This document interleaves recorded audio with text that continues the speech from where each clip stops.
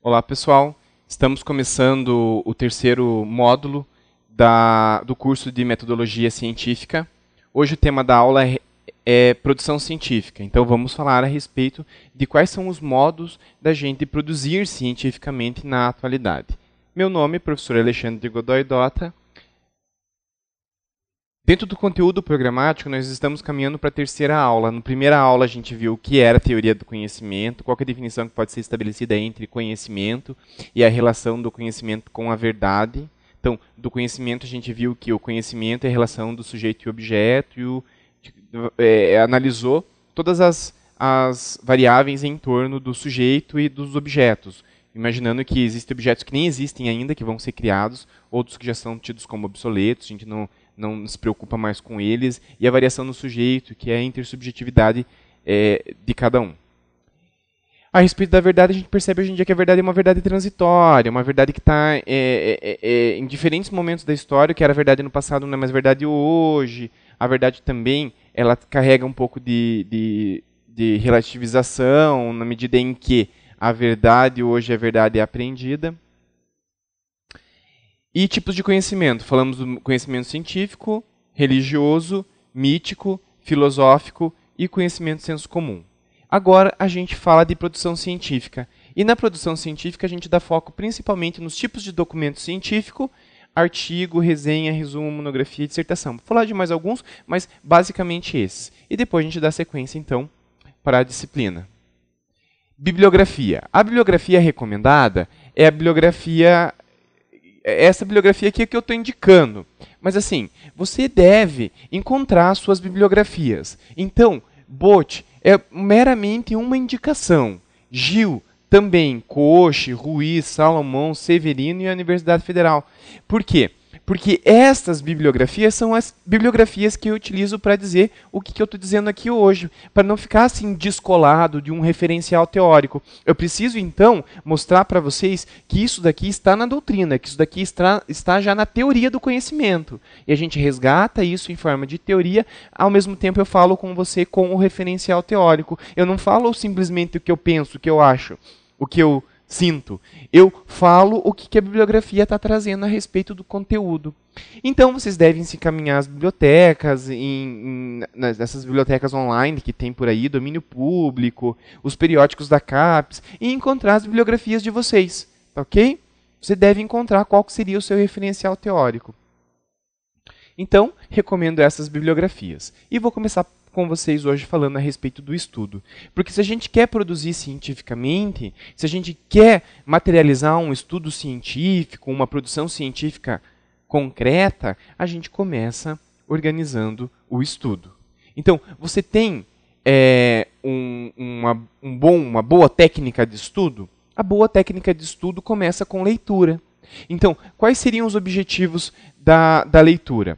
Bem, aqui são as características de um bom leitor. Lê, um, lê com um objetivo determinado, então sabe quando lê uma parte, parcialmente ou a obra toda. Lê por unidades de pensamento, sabe dividir, dividir as partes e lê parte por parte, é, é, fragmentando. Assim também a gente consegue administrar melhor o tempo. A gente lê em 5 minutos uma parte, depois tem uma outra folga daqui 15 minutos, aí lê mais 5 minutos e, e vai promovendo uma leitura por partes, tentando entender o todo, mas lendo por partes. Sabe avaliar o que está lendo, se é uma coisa boa, se é uma coisa ruim, se é direita, se é esquerda, se é tradicional, se é contemporâneo, se é holístico, se é tradicional, enfim. Possui bom vocabulário, constrói bom vocabulário. Sabe quando ler um livro até o fim ou parar na metade, discutir, só, só, só, só ler uma parte. Discute com frequência com os colegas o que está lendo, lê, compra, faz é, uma biblioteca particular, lê sobre vários assuntos enfim, essas são as características do bom leitor. É aqui que você começa, então, a desenvolver um estudo. Você tem que ler. Ler e encontrar na bibliografia o que vai você vai você vai teorizar. Porque é assim que a gente faz hoje. Basicamente, na produção científica, a gente faz uma revisão bibliográfica, a gente faz uma revisão da literatura, como, se está, como está sendo teorizado este conceito na atualidade por meio de bibliografias daí por meio de referencial teórico, artigos de revista, artigos de, da internet. Também temos que pensar no ambiente ideal para estudo. A gente tem que pensar até no tempo, como um atleta. Acho que eu já até falei isso para vocês numa outra aula, mas é importante que vocês saibam o tempo de leitura de vocês. Qual que vai ser o seu horário de, de fazer monografia? Né? Bem, vamos combinar então. Todo dia, todo sábado, ou uma vez por semana, um dia por mês, não sei. Você que vai definir de maneira autônoma, independente, você seu autogestor de conhecimento. Você sabe que você tem que pegar aquele tempo, aquele horário que você disponibilizou, sentar e estudar a respeito da matéria que você vai escrever. Você não tem outra coisa para fazer, só estudar. Aí você tem que pensar num lugar adequado, já pensou no tempo, agora tem que pensar no local. Então vamos combinar. O meu horário de estudar é todo sábado, que eu acordo todo dia 8, 8, 7 da manhã. Sábado eu vou acordar às 8, uma hora mais tarde, bem descansado, e vou, porque já estou acostumado por causa do meu trabalho, eu acordo todo dia às 8 da manhã hipoteticamente falando. Mas tente é, vislumbrar a sua, a sua rotina. Aí você encontra o teu horário de estudo no dia que você tem folga, às vezes até domingo. Domingo de manhã é um sossego para estudar, porque é um silêncio absoluto. Todo mundo está dormindo, só eu estou estudando.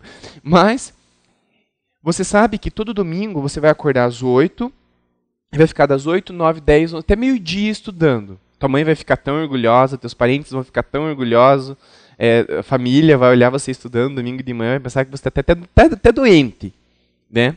Mas eles vão é, ficar, sentir orgulho, vão, vão admirar. E você vai estudar, você vai sentar e vai fazer só monografia, vai fazer só artigo, vai estudar só aquela matéria. E daí não tem outra coisa para fazer mesmo, entende? Você vai começar a produzir cientificamente porque você vai ter que aparecer com resultados materiais desse estudo, tá ok? Então tem que pensar no ambiente. O ambiente ideal, ideal mesmo, é uma biblioteca. Porém, aqui a gente pensa em alguns aspectos que estão muito presentes numa biblioteca. O mais importante mesmo é que você tenha o teu espaço em casa, o teu espaço lá na, é, no escritório. Eu não sei aonde que você vai ter o teu espaço, mas você tenha um espaço onde que você possa empilhar os seus livros, guardar os seus xerox, ter suas canetas marca e que ninguém mexa naquilo ali porque é algo que você está desenvolvendo. O que mais? Aqui você tem que pensar no ambiente e no material de apoio. Quando a gente pensa no ambiente, tem que pensar no ambiente arejado, amplo, iluminado, que é o ambiente geralmente de uma biblioteca.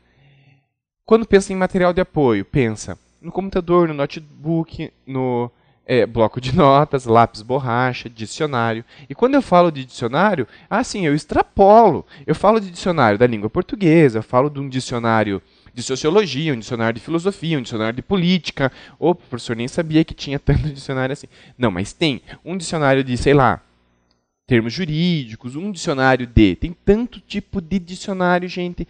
Você tem que teorizar. Você vai ter que é, buscar bibliografia. Você vai ter que trabalhar assuntos teóricos. Bons caminhos é pegar verbetes de dicionário. Nisso tudo, o autor também fala que você tem que se remeter a um silêncio interior. Este silêncio interior que o autor fala, o que, que é o silêncio interior? O silêncio interior é o poder de concentração. Você tem que sentar e ler. Tem que sentar e tem que estudar. Então não tem outra coisa para fazer. Então é muito importante essa questão do tempo. Em quatro horas de leitura, você consegue ler quantas páginas? Depende da leitura. Mas se eu te der 10 laudas, 10 páginas para ler, quanto tempo você demora para ler? Isso é uma, uma questão a ser trabalhada. Se você tem muita dificuldade com leitura, quanto mais leitura você fizer, mais você vai aprender a ler. Entendeu? É prática.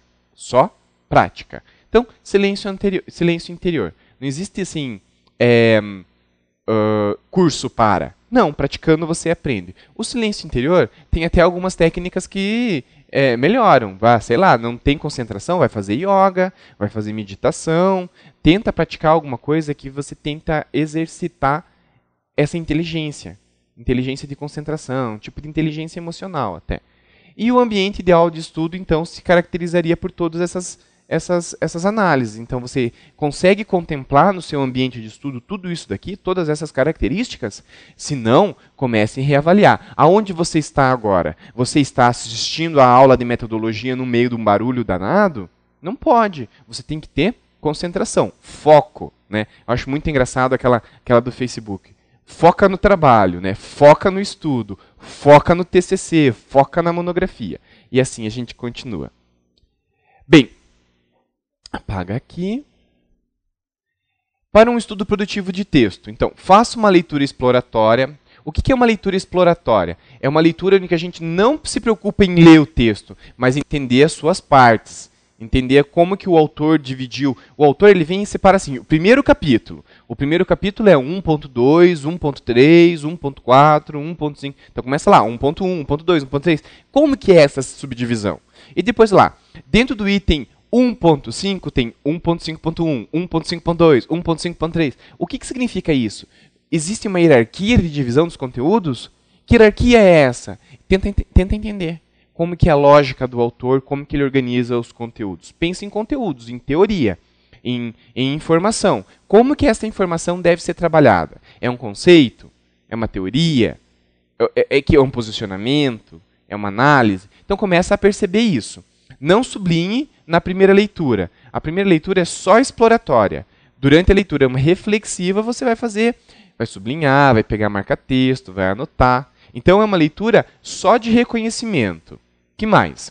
Para esquematizar. A partir da leitura do, do, do, do, de reconhecimento, você já esquematiza, quer entender essa lógica de divisão e subdivisões do autor. Então, o esquema ele é a distribuição gráfica do assunto, uma, uma, uma, uma distribuição lógica. Então, obedece divisões e subdivisões. Então, é, é, é perceba isso.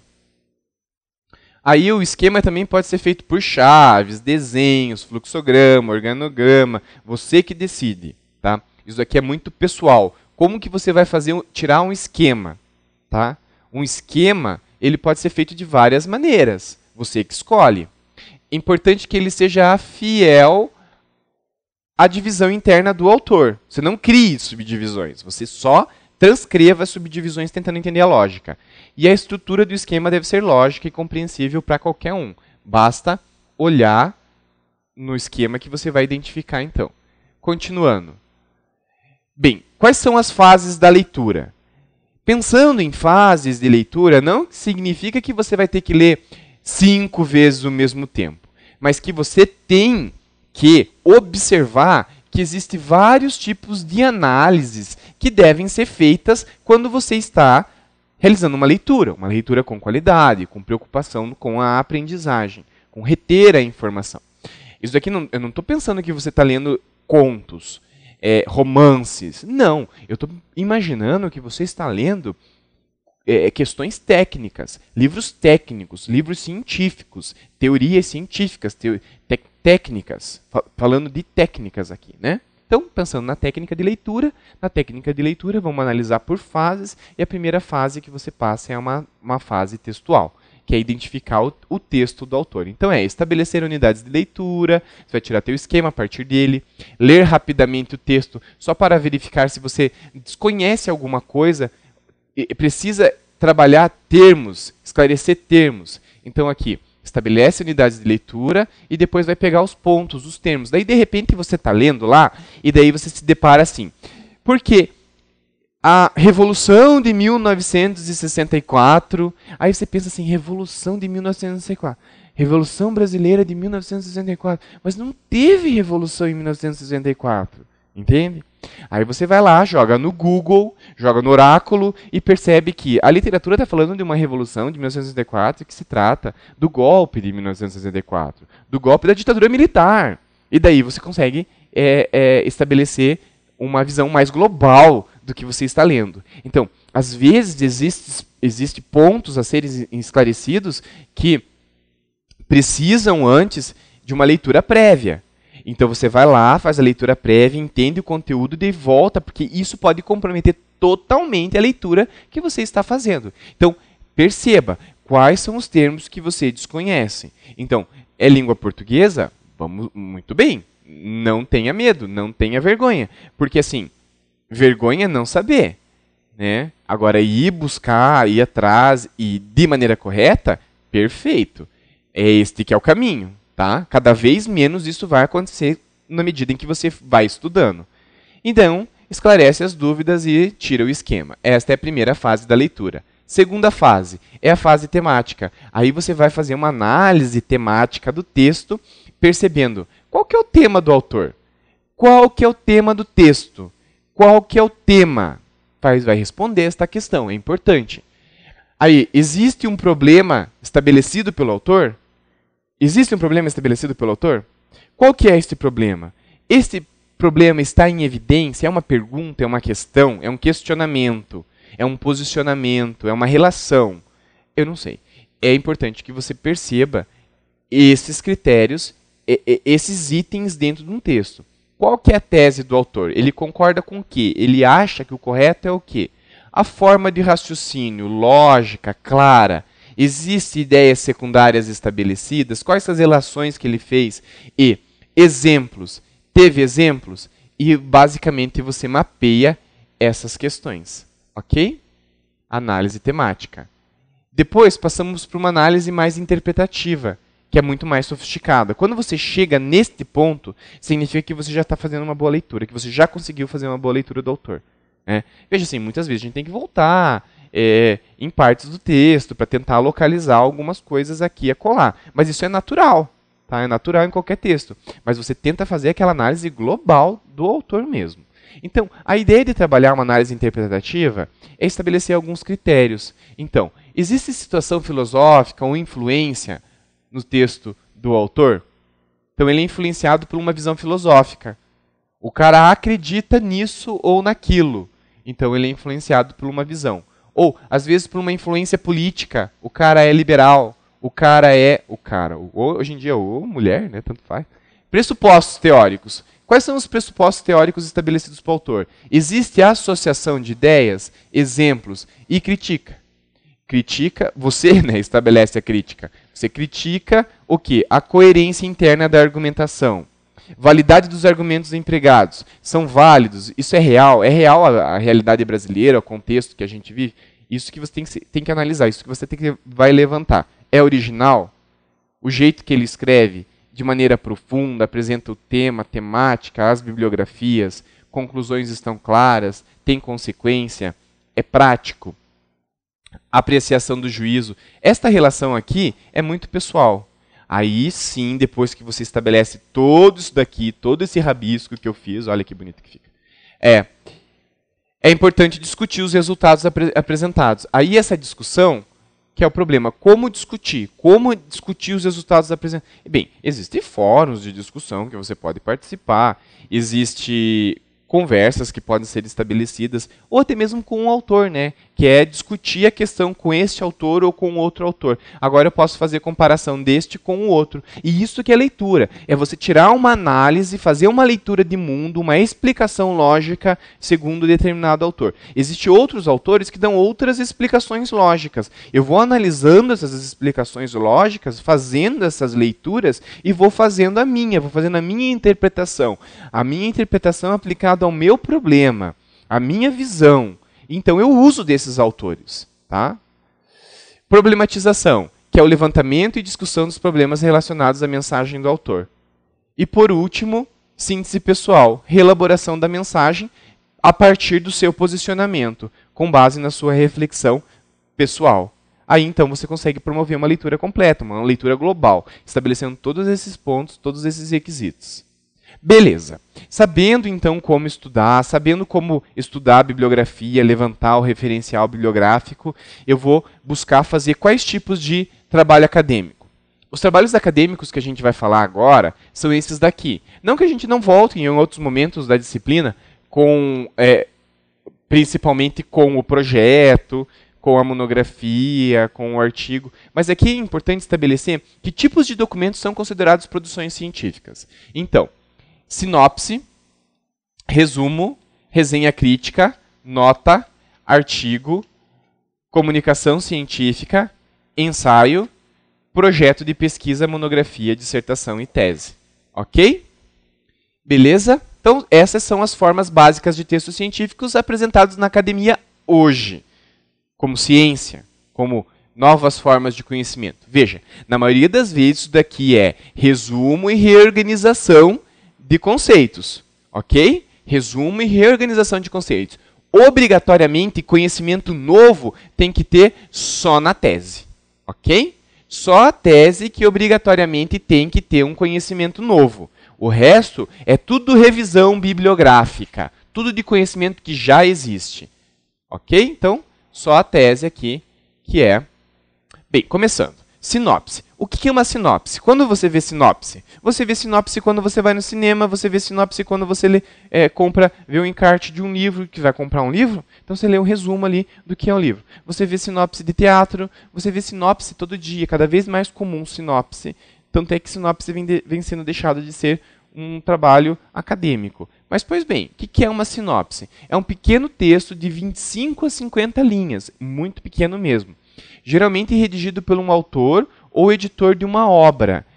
É, apresenta é, um, é uma apresentação concisa dos traços gerais de uma obra. Geralmente vem inserido no início dos textos, textos e é inicial para um levantamento bibliográfico. É uma primeira apresentação do texto de um, de um, de um livro. Você encontra, encontra sinopses nas, nas capas, contra, contra capa, às vezes orelha, sabe? Orelha do livro, que é aquela partezinha assim que a gente usa para marcar página. Aquilo é a orelha do livro. Você não sabia uma dessa, né? Você não sabia que livro tinha orelha? Então, orelha do livro. Olha só que interessante. Na orelha do livro também é interessante verificar as credenciais do autor. Geralmente está escrito. E também tem apresentação de outras obras, às vezes da mesma editora. Então você encontra bastante sinopse, e sinopse é fundamental para escolher uma bibliografia. Resumo. Mudando então, o resumo é mais longo que a sinopse. O resumo tem de 25 de 10 a 25% do texto original. Ele levanta as ideias essenciais do texto base, do texto que está sendo lido. E é feito por um terceiro, mas deve manter o espírito do autor, ou seja, ser fiel sempre ao original. O resumo deve é, se observar absoluta fidelidade ao texto original. Então, não agrega juízo de valor. Então, não tem opinião nenhuma sua. É opinião só do autor. Não importa a obra que você está lendo. Você tem que manter as características do autor, nos conceitos, na originalidade. Você não pode fugir daquilo que realmente está escrito.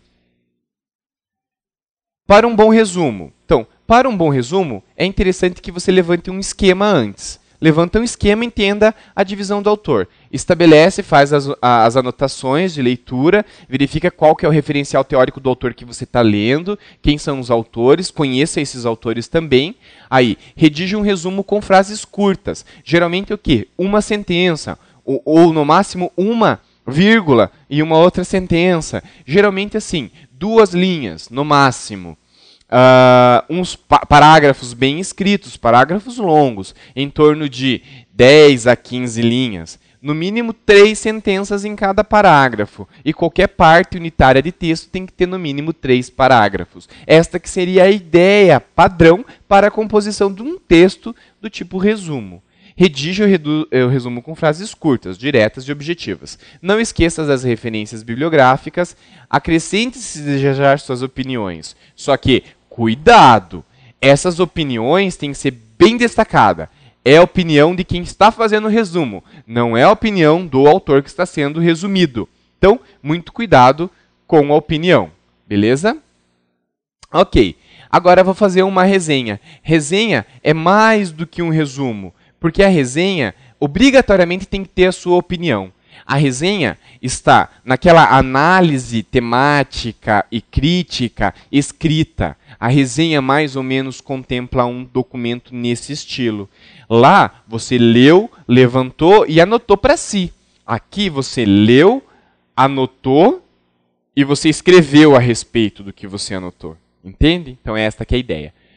Uh, resenha crítica, então. Exame e apresentação de obras prontas, acompanhado de uma avaliação crítica. É um exercício de autonomia intelectual, é um alto exercício de autonomia intelectual é, de compreensão e crítica constitui um passo importante na produção científica. Quem faz boas resenhas escreve muito bem, geralmente. Pode ser resenha bibliográfica ou de revisão de literatura, quando procura demonstrar o estágio de desenvolvimento de um tema, como se fosse um estado arte. Ok? Este também pode ser o objetivo de sua resenha crítica. Vamos lá itens de uma resenha. O que, uma resenha basicamente tem? A identificação da obra, então começa montando-se um cabeçalho que fala lá, identificação da obra, então notas bibliográficas, credenciais do autor, o conteúdo, ou seja, as ideias principais, as, os é, pormenores, pressupostos, para entendimento do assunto, aí sim as conclusões ou considerações finais. Mas do autor, só pode ser do autor, você não tem conclusões, tá? Crítica, determinação histórica, metodológica, contribuições. Às vezes você critica só o estilo, forma, considerações éticas, méritos, ok? Isso que você Pois bem, esses são os trabalhos iniciais, mas eu ainda posso fazer trabalhos do tipo trabalhos de é, divulgação científica, que seriam os trabalhos mais importantes. O primeiro trabalho de divulgação científica é a nota. A nota traz novidades, mas não permite que você verifique realmente a essência do trabalho a nota está muito ligada assim, vai ser defendido uma dissertação, vai ser defendido, muito indicando as pessoas de um evento acadêmico, de um evento científico.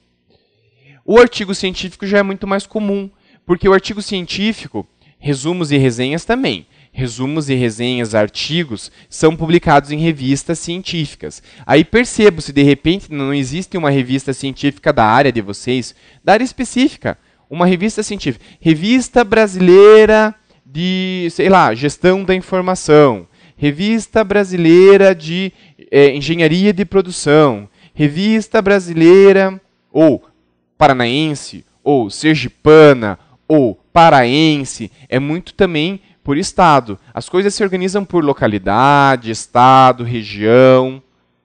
Às vezes existe uma revista internacional ou um congresso. Congresso também aceita artigo científico. Congresso é, paulistano, congresso é, mineiro, simpósio brasileiro, se, é, congresso, simpósio, conferências, eventos acadêmicos.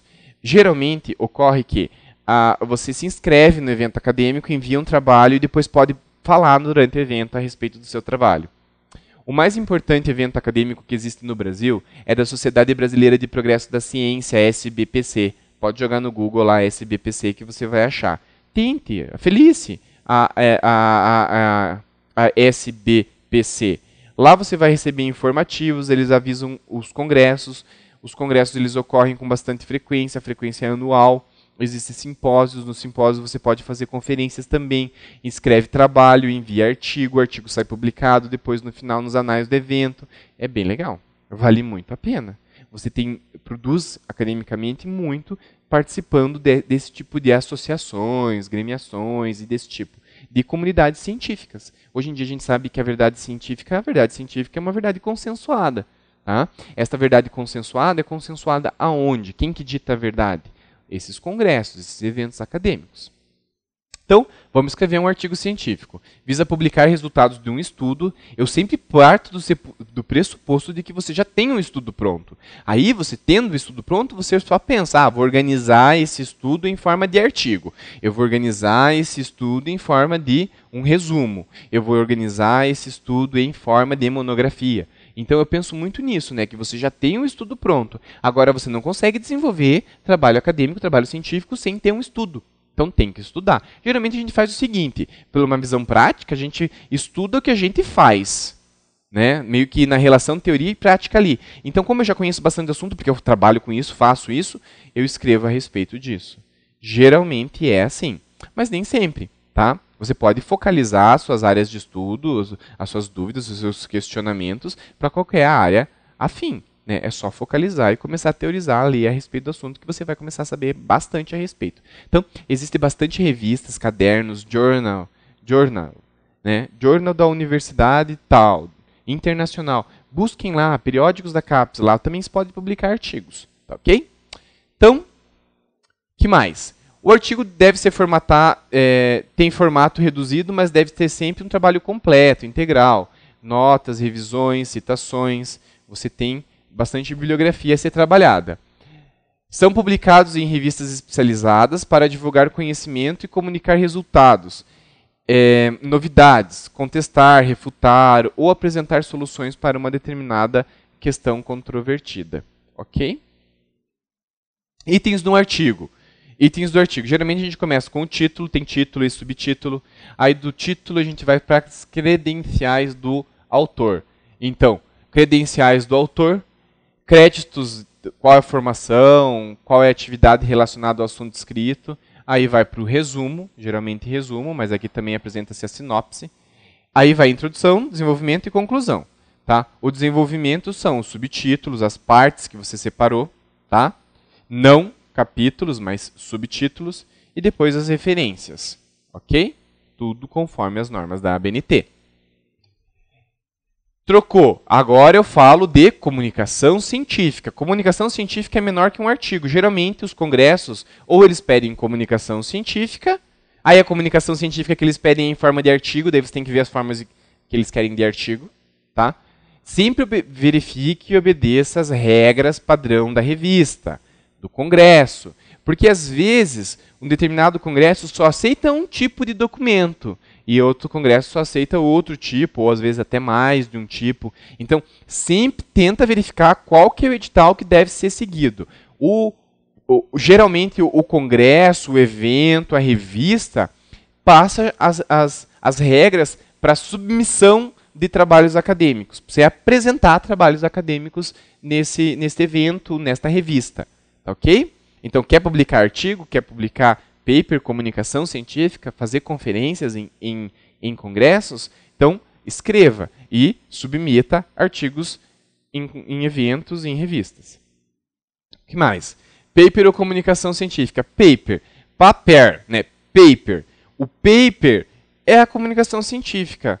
A comunicação científica, hum, eu acho que talvez seja um pouco errado é, falar o que eu estou falando é um mini artigo, porque ele tem os mesmos requisitos do artigo, só que é menor.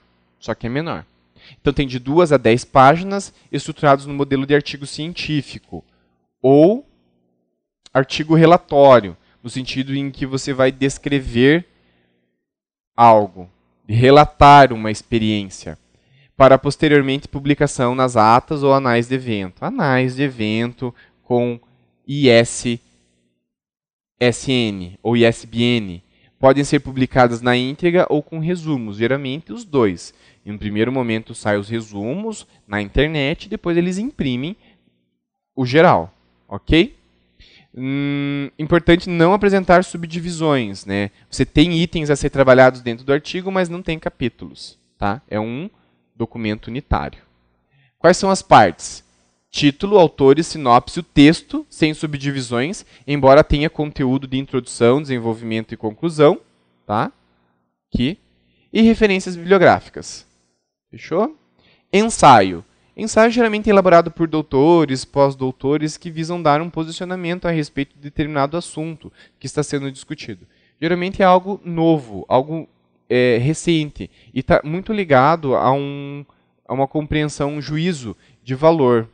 Então, seu valor depende, seu valor depende a, do respeito que de fulano de tal que escreveu o ensaio tem na comunidade científica, porque ele é feito desprendido de referencial teórico. Ele não precisa ficar falando embasado em quem ele está falando. É a sua visão, é a expressão da visão do autor, da pessoa, a respeito de um pensamento científico, um determinado assunto. Ok? Projeto. Projeto de pesquisa também é importante porque projeto de pesquisa vai ser um tema específico de uma outra aula, mas ele é um documento científico. E qual que é a questão lá do, do, do projeto científico? O projeto de pesquisa, o projeto científico de pesquisa, ele, ele, ele é um, um, um plano de trabalho. É importante porque ele se, se mostra como um plano, ele tem uma meta, ele tem um objetivo, ele tem questões a serem trabalhadas, bibliografias, um cronograma, e isso que é legal de um projeto de pesquisa. Quais são os itens? A apresentação do tema, do problema, da temática, da questão a ser trabalhada, do assunto, do campo, tá? Isso tudo é apresentação. Geralmente tem uma lauda, em torno de uma lauda. Aí você explica qual que é o seu objeto, porque você vai trabalhar então um novo conhecimento, tem um objeto, qual é o seu objeto? Objeto e qual a relação que você vai estabelecer com ele. Então, quais são os seus objetivos? Aí a justificativa, a justificativa de cunho social, pessoal e científica. Social por quê? Social porque tem que ter uma importância para a sociedade o estudo que você está fazendo, senão não tem relevância nenhuma. Pessoal para você, cientista, pessoa que está estudando cientificamente esta área. E científica para as ciências dessa área. A revisão bibliográfica, que é levantamento bibliográfico a respeito do assunto nos seus principais conceitos, metodologia de análise, cronograma, o tempo que você tem, o levantamento bibliográfico inicial, que é diferente da revisão bibliográfica. O levantamento bibliográfico inicial são as referências. A revisão bibliográfica são os conteúdos temáticos trabalhados dentro das referências, em forma de citação, em forma de nota de rodapé, referências daí, né? E depois os instrumentos de pesquisa, mas é mais opcional porque muitas bibliografias têm o sentido de fazer uma revisão de literatura. Funções do projeto de pesquisa. Define, planeja, disciplina, organiza a pesquisa permite que os orientadores avaliem melhor a, o que você quer fazer, né, o, o teu estudo, subsidia a discussão e avaliação de bancas examinadoras para aprovar projetos para graduação, pós-graduação, mestrado e doutorado. Então isso é importante. Quando você vai fazer mestrado e doutorado, você obrigatoriamente tem que apresentar o teu projeto de pesquisa. Você não pode fazer o teu projeto de pesquisa depois. Você já apresenta a proposta no momento da inscrição para a seleção. Entende? Então, antes de fazer prova, antes de fazer provas de língua, antes, antes de entrevista, antes de tudo, você tem que apresentar a inscrição junto com o projeto. Qual, o que, que você quer estudar aqui? Tá? Serve para solicitar bolsas de estudos também. Então, CAPES, CNPq e outras fundações privadas, é, é, como a Fundação Forte, Fundação Carolina, Itaú, eles fornecem bolsa para as pessoas desenvolverem pesquisas, inclusive no, aqui no Brasil e no exterior. Tá? No nível de pós-graduação, principalmente e mais em mestrado e doutorado. Mas também tem de pós-graduação especialista também. Enfim, quer ganhar para estudar? Existe possibilidade. É só acompanhar os editais e elaborar um bom projeto de pesquisa. que mais? Questões importantes para definir o tema. Aí já estou falando, então, do, do, do, projeto, mas assim, o que é importante levantar no projeto? Escolher o tema pelo gosto, preparo, tempo, utilidade, fontes de acesso, elaborar a problematização, obrigatoriamente o projeto tem que ter um problema a ser trabalhado, justificar a relevância da pesquisa social, pessoal e científica, delimitar o estudo proposto, então em qual campo, em qual área, em qual tempo, criar os objetivos e estruturar uma fundamentação teórica para o estudo se sustentar como, como um, algo executável. Então, outro documento científico, monografia. A monografia é um relatório. Antes de tudo, a monografia é um relatório escrito de uma questão determinada e delimitada, realizado com bastante profundidade teórica. É um trabalho sistemático, completo, sobre um assunto particular, pormenorizado no tratamento, é, no tratamento e extenso, extenso no alcance. Exposição exaustiva de um problema ou assunto específico. Isso seria uma definição do que é a monografia. Itens de uma monografia: introdução, corpo de texto, conclusão e referenciais. Então, na introdução, trabalhar a relevância do tema, menção de outros trabalhos e exposição dos objetivos. Isto basicamente teria que ser trabalhado na introdução. Aí entra os capítulos planejados e ordenados no projeto. E depois síntese das ideias na conclusão. Então, construir um parágrafo conclusivo. Uma dissertação. A dissertação, diferente da monografia, a monografia pode ser elaborada como resultado de um, uma graduação ou como resultado de uma especialização, uma pós-graduação lato sensu. Depois disso, um outro nível da educação, nós falamos da educação estrito senso, Estrito senso, quando a gente fala de programas de pós-graduação, mestrado e doutorado. No mestrado você defende a dissertação e no doutorado você constrói a sua tese. Ok? Dissertação, então, é a monografia do mestre. Ok? É necessário para a obtenção do grau de mestre. Apresenta-se de forma de relatório, né, um relatório de pesquisa, assim como a monografia relatório de, mono, é, científico ou monográfico. Sua principal característica é o aprofundamento. o texto deve identificar, situar, tratar e fechar uma questão científica de maneira competente e profunda. Depois isso vai ser avaliado por uma banca de três doutores. Três doutores vão avaliar o teu trabalho e vão estabelecer uma nota e verificar se você tem condições ou não tem condições de receber o título de mestre. Pode ser expositiva ou argumentativa, falando de classificação. Então, isso seria a dissertação. A dissertação, diferente da graduação, você cumpre com módulos, cada módulo cumpre é, cre, é, é, dá créditos a você, de, cumprindo tantos créditos, você pode então apresentar a tua dissertação, a sendo aceita a sua dissertação pela banca de doutores, então está, está aprovado. Então você se torna mestre. Características da dissertação. Bem, deve estar vinculado a um programa de pós-graduação estrito senso, tá? Situar em uma área específica do conhecimento, desenvolver-se com a orientação de um doutor, obrigatoriamente todos os professores de mestrado e doutorado são doutores ou pós-doutores. Revelar domínio e capacidade de síntese de conhecimento específico e aprofundados dentro da sua área de titulação. Ser apresentada e defendida publicamente. Então, essa questão é importante. Sempre a defesa pública. Beleza. E tese. A tese é um outro nível de trabalho, então. Então, é a condição para doutoramento. Título de catedrático e até livre docência.